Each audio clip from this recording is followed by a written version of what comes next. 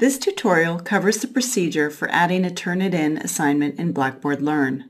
You can add a Turnitin assignment to any content folder in Blackboard Learn.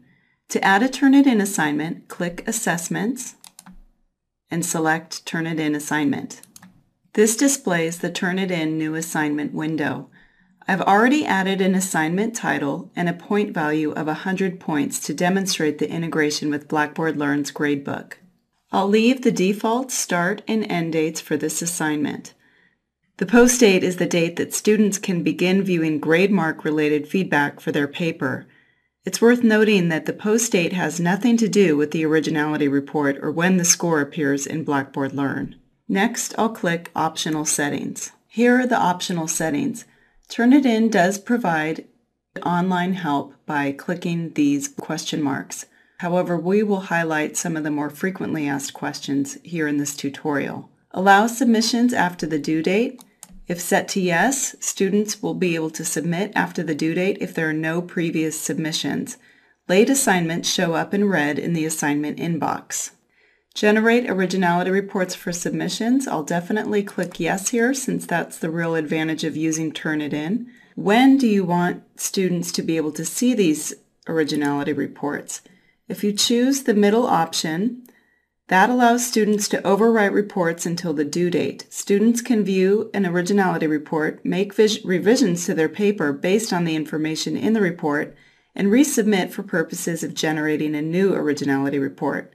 It may take up to 24 hours to process originality reports for resubmissions. Scrolling down here, exclude bibliographic materials from Similarity Index. This setting allows the instructor to exclude text appearing in the bibliography, works cited, or references sections of student papers from being checked for matches in the originality report. An instructor can override this setting when viewing the individual student originality reports. Go ahead and choose yes for this, as well as for quoted materials, and that will exclude text appearing in quotes or block indentation when generating the originality report. Continuing down, exclude small matches. This setting allows the instructor to exclude matches of insufficient length from being considered when generating originality reports. Turnitin already does not factor little words such as a, and, and the when generating these reports. If you choose to exclude small matches and choose word count, that allows the instructor to enter the maximum number of words that can appear in a row before Turnitin flags it as a match. So for example, no more than three in a row. Percentage is the number of words in a row as expressed by a percentage of the total words in the paper. For example, if you enter 5% and the paper is 500 words, then Turnitin will allow a match of 25 words or less. Allow students to see originality reports. I'll choose yes. Moving down, reveal grades to students only on post date. If set to yes, students cannot see their score in Blackboard Learn's My Grades feature until the post date. So I'll actually leave this as no. Submit papers to. This setting provides the instructors with the ability to select whether papers are stored in the Turnitin student paper repository. The benefit to selecting yes is that student papers submitted to the assignment are checked against other student papers from your current and previous classes.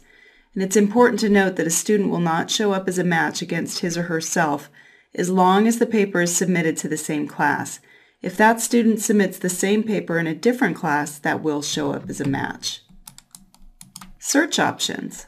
This allows the instructor to select which Turnitin repository student submissions will be checked against when generating originality reports. The similarity percentage may decrease if these are deselected. I'm going to go ahead and leave the default selected for now. Attach a rubric to the assignment. The instructor can attach a rubric to the assignment for use with GradeMark if the instructor has created that rubric using Turnitin, and you can create rubrics by launching the Rubric Manager. And finally, grammar. If this setting is enabled, grammatical feedback will be added to the GradeMark report. So those are my settings. You can have the option to save these settings for future Turnitin assignments, and I will click Submit.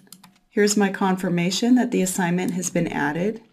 And there's the Turnitin assignment in my Blackboard Learn content folder. Thanks for viewing this tutorial on adding a Turnitin assignment in Blackboard Learn.